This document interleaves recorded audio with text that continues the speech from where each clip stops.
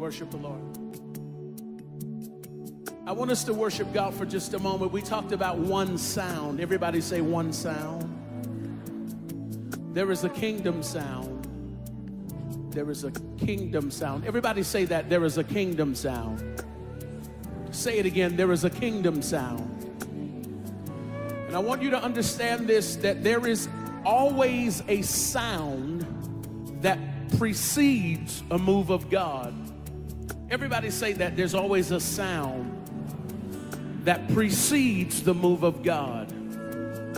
Whenever you will find deliverance, wherever you will find healing, wherever you find a move of God, it is always associated with a sound.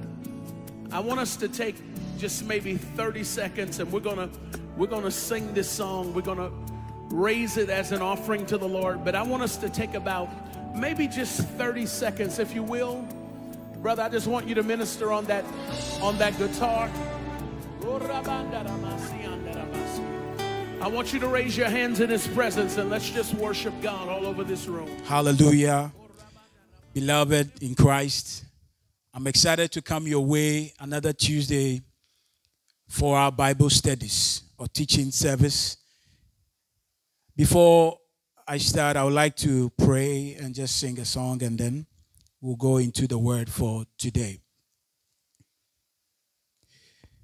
Jehovah, we praise you. Jehovah, we praise you. We lift your name. We lift your name. Jehovah, we praise you. Oh,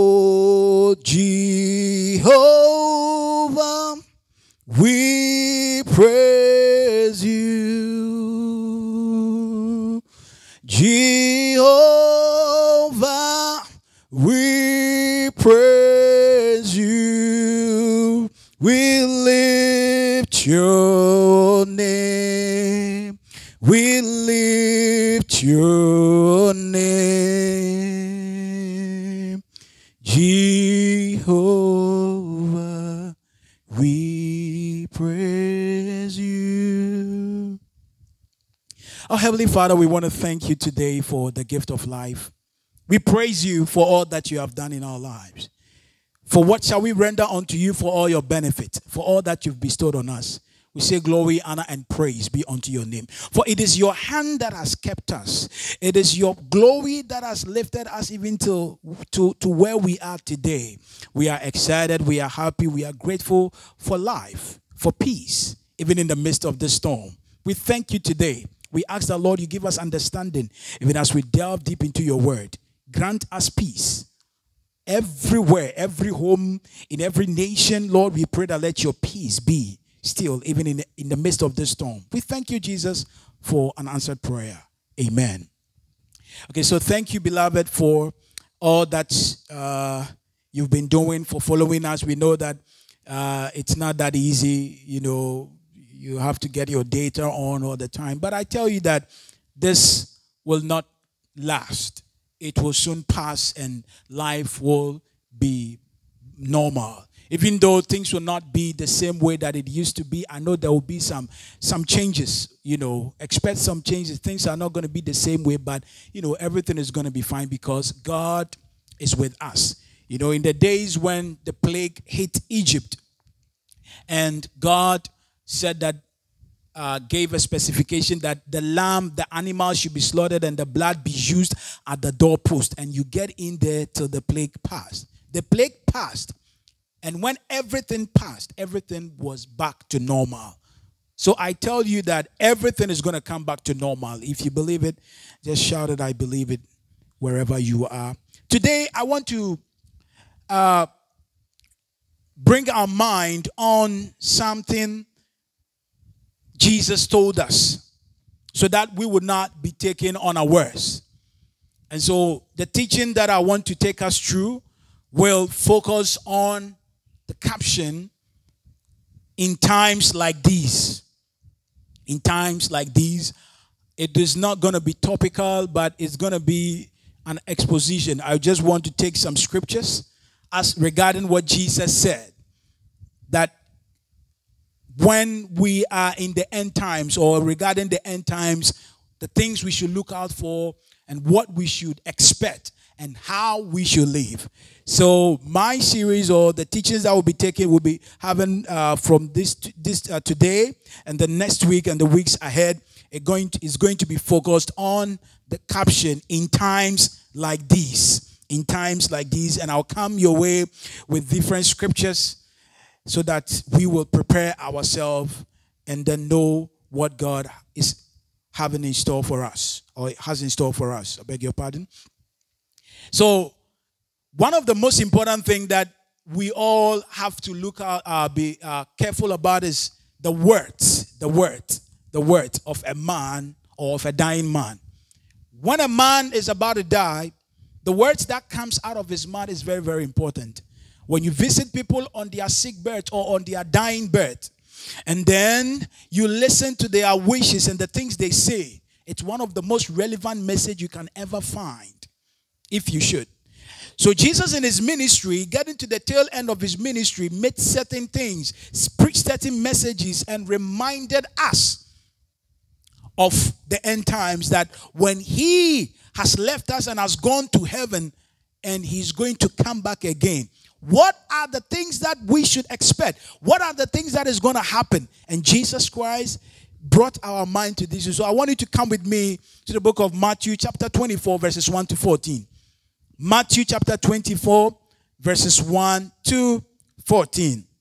And like I said earlier, I'm talking on the caption in times like these. In times like these. So let's read. Matthew 24, verse 1 downwards. It says that, and Jesus went out and departed from the temple, and his disciples came to him for him to shew him the buildings of the temple. And Jesus said unto them, See ye not all these things, verily I say unto you, there shall not be left here one stone upon another that shall not be thrown down. And he sat upon the Mount of Olives.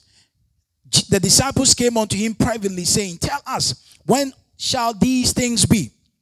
And what shall be the sign of thy coming and the end of the world? And Jesus answered and said unto them, Take heed that no man deceives you. Take these things carefully. Look at these things carefully. So, uh, as I'm reading, I'll, I'll just come back again and then I'll just draw your mind onto something. For many shall come in my name, saying, I am Christ, and shall deceive many.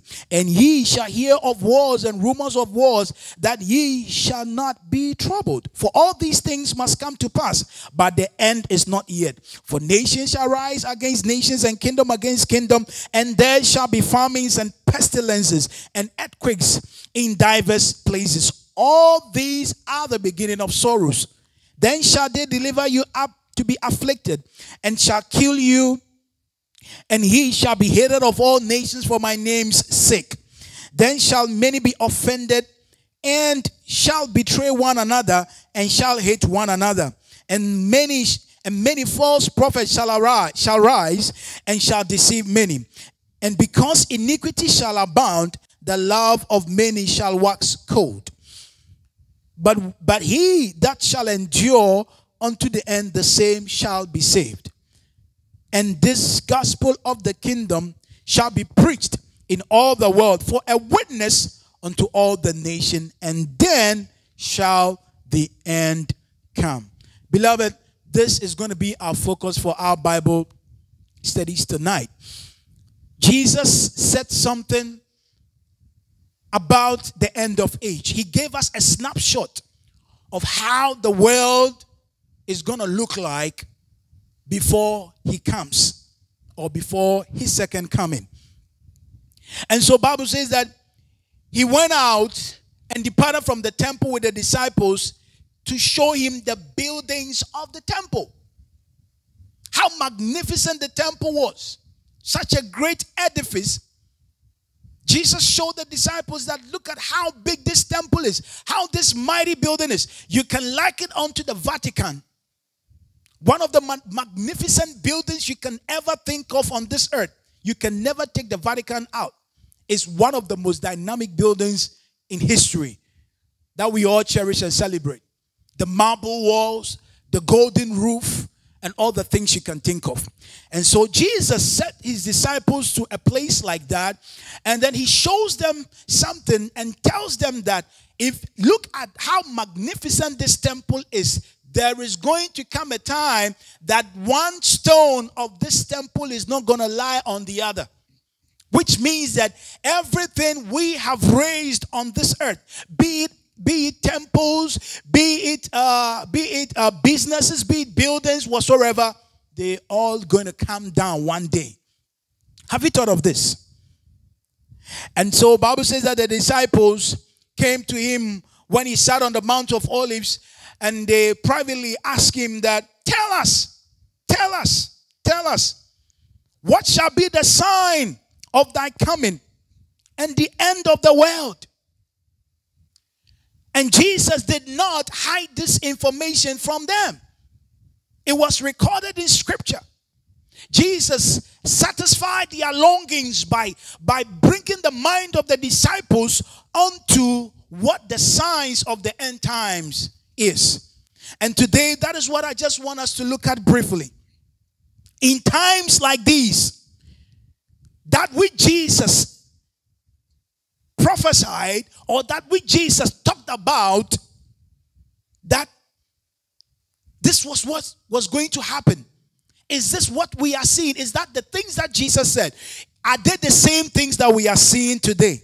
So let's look at it. So, in times like these, what are we supposed to look out for? Just as the disciples came to Jesus on the Mount of Olives and they asked him that, What will be the sign of your coming? What are the things we should look out for when the world is coming to an end? And Jesus answered them and said, He answered and said unto them. So, in times like these, as Jesus said in those days, in times like this we live, what are we supposed to look out for as Jesus said? Number one, we should look out for deception. Because Jesus said that take heed that no man deceives you. So, one of the signs of these times we have to be watchful, we have to be looking out for is deception.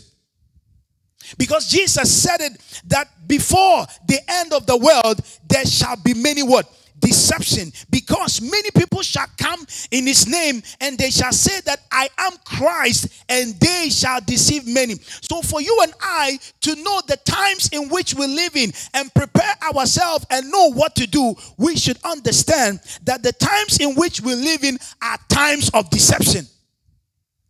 So, deception shall arise. There shall be so much of deception. People will come in the name of Christ saying, I am Christ, and they shall deceive many.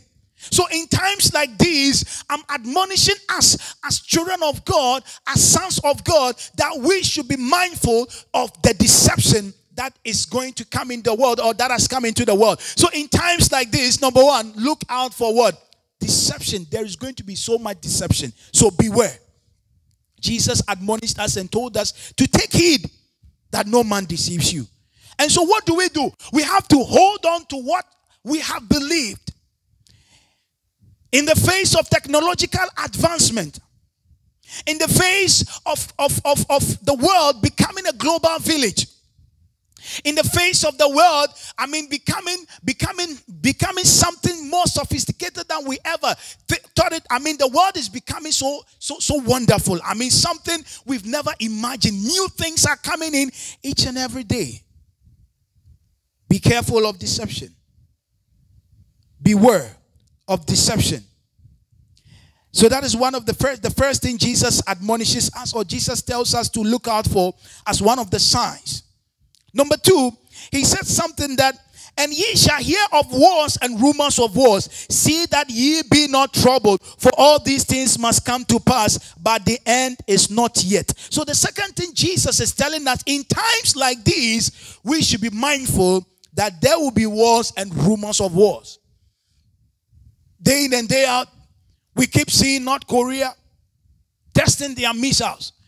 And it's so interesting, it's so funny that even in this in this time of COVID-19, I mean, they are testing their nuclear weapons. I mean, the whole nations, nations. You know, prior to uh, the new uh, COVID nineteen, you could you could see many nations testing their nuclear weapons. You could hear wars and rumors of wars in places. I mean, you you are seeing a picture of what is happening, unless you are out of touch of reality.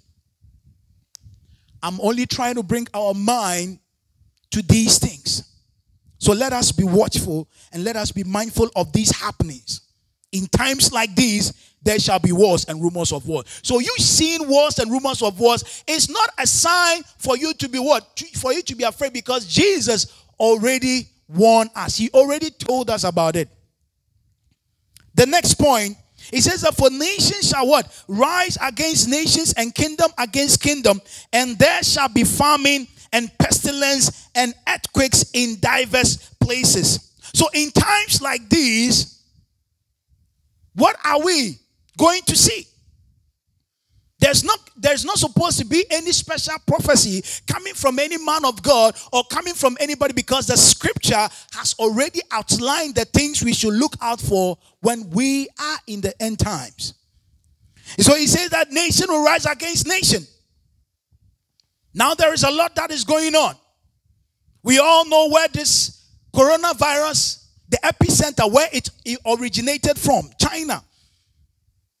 And many countries are now, you know, many companies are now leaving China. And there are a lot of things that is going on, a lot of accusation. And there are a lot of things nations wants to rise against another nation saying that it is their fault. The continent of Europe, how they are seeing America, how America is seeing Africa, how the Asians are seeing Africans. A lot of things. I'm not here to, to say certain things, but I'm only here to remind us and to help us know and to be mindful and watchful of what is going on so that we'll not be blind to happenings. Jesus already told us. Kingdom will rise against kingdoms. There shall be famine and pestilence. We all know what this coronavirus is doing to us. The sharing of food. A lot of people are, I mean, are going out begging for food. You know, people have it difficult to get, get, get food to eat and stuff like that. And these are things Jesus Christ told us. So, in times like these, we should be mindful that there is going to be famine. There is going to be pestilences. It didn't say pestilence. So I'm not a prophet of doom, but this is not going to be the only thing that is going to hit the earth. Let us watch out. Until Jesus come, the world and the church should prepare for pestilences. So don't think that when we come out of this COVID 19 fight, that is all. I'm not saying my own words, but that's what the scripture said that there shall be famines with us, and there shall be pestilences with us, and there shall be earthquakes. Even in the midst of this of this COVID-19 in California, in some part of America, you hear you you are hearing we are hearing earthquakes all around. You hear a lot of things going on in diverse places because Jesus already told us about it. And he said that all these are the beginning of sorrows. So in times like these, we should understand and we should know that sorrows will what? Will abound. There will be so much sorrows. And Jesus is bringing our minds onto this that we should be mindful, we should be watchful. In times like this, there will be sorrows. But what did Christ tell us? In times like this, Christ is telling us that uh, you shall be delivered you, they shall deliver you up to be afflicted. What is he saying to us? He's saying to the church, he's saying to the body of Christ that you shall be delivered up to be afflicted. They shall kill you, and you shall be hated of nations for my name's sake. Because we stand for the name of Jesus. A lot of people, even in this very time, a lot of people are speaking and they are saying all kinds of things. Where is their Jesus? If they claim that their Jesus is, is the God, is God and can do, why is their Jesus not saving them? Why is their Jesus not talking? Their Jesus has been silent. Their Jesus is not doing anything. A lot of people are saying all, all kinds of things. And there is a lot of hatred for the body of Christ. There is a lot of hatred for those that name the name of the Lord. There is a lot of hatred for all those who claim that they believe in the Lord Jesus Christ. For all of us who have been washed in the blood of the Lamb and who answer to the name of Jesus Christ, these are the things Jesus Christ told us that we should be what? We should be. There will be that hatred that we shall be hated of all nations because we hold on to Christ. And people will not understand why. I, I, mean, we are holding on to Jesus, even in the midst of this crisis, in the midst of this storm. Like I said earlier, if you believe in Jesus, why is your Jesus not coming to save you? Look, our Jesus has conquered everything. And there are things he told us already, and we are mindful of. He said in John 14 that we should not let our heart be troubled. We should believe in him and that he's going to prepare a place for us. No matter what this earth turns out to be, Jesus shall redeem us from every pestilence and from anything that is going to come to us. We are not afraid because God is with us. His name is Emmanuel. That means God is with us. A lot shall be killed. People, you shall be hated of all nations for the name of Jesus. And again, he says that one of the things you should also look out for is that they say that many shall be offended and shall betray one another and shall hate one another. So it is admonishing the body of Christ that we should be mindful of what? Of offenses. Offenses will come. So in times like these, watch out for offenses and betrayals and hatred. So when if so whilst you are seeing hatred, offenses, and betrayals, it is because Jesus Christ already told us that before the end of the world or before he comes, these are the things that will precede his coming. And he has already told us so that we will what? We will be mindful of them. I'm only trying to expose what the scripture has already said. I'm just highlighting them for our what? For our thinking that we should think of these things. Jesus has already told us. In times like these, as I, as I, as I draw down to my conclusion, it says that, and many false prophets shall arise, shall rise and shall deceive many. So in times like this, we should be what? We should be mindful of what? False prophet. People who claim to be what? To be of God and they claim to have received new truth, new messages from the Lord. We should be mindful. Everybody is talking in this COVID 19. The Lord showed me this. The Lord told me this. I saw this. I saw that. Jesus has already told us. A lot of these things will happen. Be mindful. Be watchful of these things. And then be glued to the word of God so that you are not taken by surprise. And he says that iniquity shall also abound and the love of many shall wax cold. You realize that even in the midst of all this trouble, a lot, a lot will happen. Iniquity, wickedness, shall abound. And you wonder where, where, where, I mean, what humanity is becoming. These are the things that because of this, the love of many shall wax cold. People would not even want to do, I mean, good again. People wouldn't want to show love again because iniquity will what? Will abound. And Jesus has already told us all these things. But he said to us that those that shall endure to the end, the same shall be saved. This is a word of consolation Jesus is giving to us because he's with us that he that shall endure unto the end. So we pray for the spirit of endurance to come upon the church and to come upon us so that we can endure unto the end holding on to the confession of our faith holding on to the tenant of our faith not giving into the pressures of life not giving into the things that are dictating to us and the things that is happening around us but understanding that jesus said that lo and i'm with you even to the end of this age and the final thing he said in the verse 14 which I'm ending with, he says that, and the gospel, and this gospel of the kingdom, this gospel of the kingdom shall be preached in the world for a witness unto all nations, then the end shall come. And so, as I close on our teachings for today, in times like this, Jesus is telling us that the word, this gospel of the kingdom, shall travel. It shall go to the length and breadth of this earth for a witness unto the nations, then the end shall come. So, what I'm leaving you with today is that let's take this gospel of the kingdom to the end of the world for a witness for all that Jesus has said. And then the end shall come. May God bless us and keep us and keep our heart from every troubles. In Jesus' mighty name we pray. Father, we thank you for your word. Give us understanding and give us insight and help us that we will have the spirit of endurance. We will endure to the end. And this gospel of the kingdom, we will carry it forward. We will carry it to the nations for a witness. In Jesus' name, Lord, we pray with thanksgiving. Amen. Thank you. God bless you.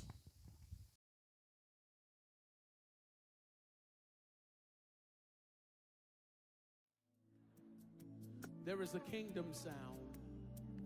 There is a kingdom sound. Everybody say that. There is a kingdom sound. Say it again. There is a kingdom sound. And I want you to understand this that there is always a sound that precedes a move of God. Everybody say that. There's always a sound that precedes the move of God.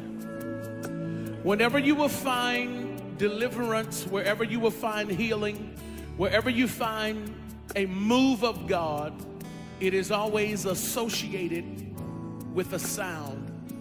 I want us to take just maybe 30 seconds and we're going to we're going to sing this song. We're going to raise it as an offering to the Lord, but I want us to take about maybe just 30 seconds if you will.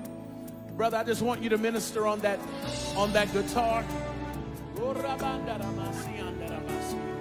I want you to raise your hands in His presence and let's just worship God all over this room. Oh, Come on, everybody, let's worship God all over this room. Oh, Hallelujah.